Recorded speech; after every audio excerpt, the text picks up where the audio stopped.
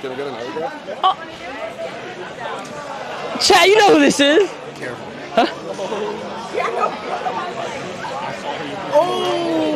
Why did he dirty? Ah. No. What the fuck's wrong with you? What's up? What the fuck's wrong with you? What the fuck's wrong with you? an autograph. What's Do you have a problem? No. You- Two plus two is four. Look how nervous he is.